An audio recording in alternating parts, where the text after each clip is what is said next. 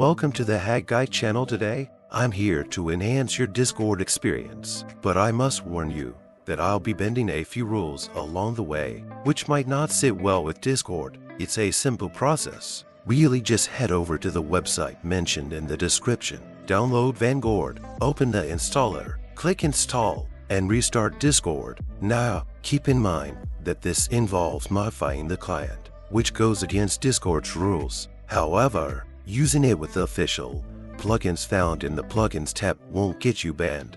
Now, head over to your settings and you'll see Vencord right there. Congratulations, you've successfully installed it. Now, let's dive into how to use it with some popular plugins. There are plenty of official plugins available that won't get you banned.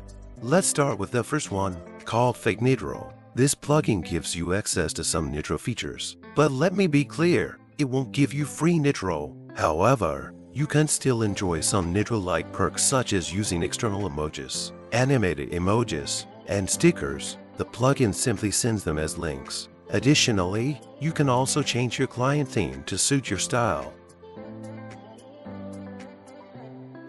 Next up, we have the Member Count plugin. This nifty tool allows you to see the number of online and total members on a server. You'll find this information displayed at the top of the member list. Now, let's talk about folder plugins. There are two options, Better Folder and Plain Folder icon. With the first one, your servers will be displayed on the right side instead of popping up below. The second plugin replaces the little server icons inside the folder with a single folder icon. You can even customize the folder color and name to your liking. If you're a fan of animations, you'll love the Always Animate plugin. It automatically animates all images that can be animated, making your Discord client more dynamic. With the Preview Message plugin, you can get a sneak peek of how your message will look in a channel or chat before sending it.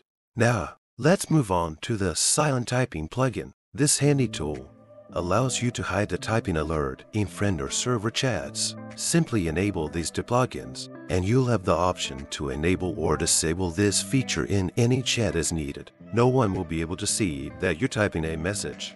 One of my personal favorite plugins is PinDM. If you're all about emojis, the Emoji Cloner plugin is perfect for you. It allows you to quickly copy any emoji to your server. Just right-click on the emoji you want Select Clone Emoji, choose your server, and voila, you can now use it on your server. The Image Zoom plugin is another incredibly useful one. You can customize this plugin to your liking. When you open an image, you'll be able to zoom in right within the Discord client instead of opening it in a browser. This is especially convenient when someone sends you screenshots with text or code. Last but not least, we have the Usernames plugin. This plugin displays the usernames of all the people in a server. And there you have it. These are just a few of the awesome plugins that Vencord has to offer. So go ahead, give them a try. If you found this tutorial helpful, don't forget to give it a thumbs up and subscribe to our channel for more exciting content. If you encounter any difficulties, please leave a comment and I will respond as soon as possible. Also, be sure to share this video with your friends or anyone who might find it useful. Thank you for watching. See you guys in the next videos.